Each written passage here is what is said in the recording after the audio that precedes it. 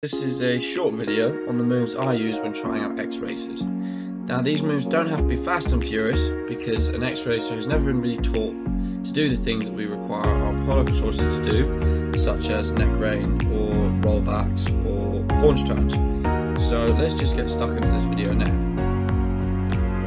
So all that this video really is about is to see and to test their natural balance as the best polocrosse horses have great balance if they don't, it's not the end of the world, but a balanced horse can quickly learn as they can effortlessly get their legs in the right place.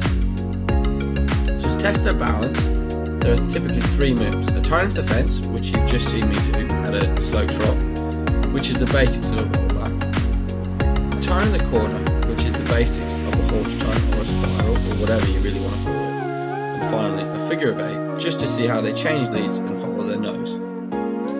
Now, with the turn into the fence, it's very much like it sounds. You travel along close to the fence before stopping, turning the nose into the fence, moving the shoulders out of the way, and then travelling back out in the direction you came. So as you're about to see, I'm about to demonstrate one now in a canter.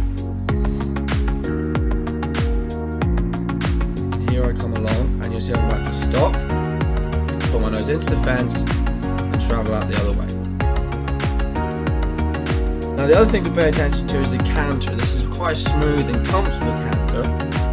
You know, it's not jarring and it's it's not too fast, it's not rushed, it's pretty even and it's pretty balanced. So moving on from that a turn to the corner.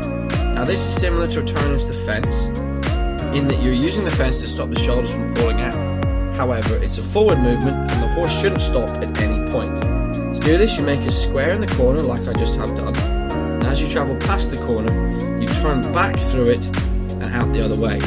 This keeps forward throughout the entire turn. So there we go, there's another example of the turn there.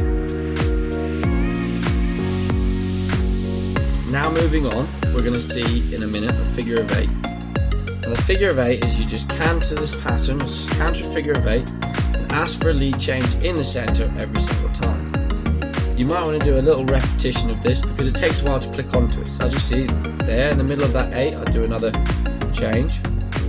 I'll come back around again and I'll change the other way.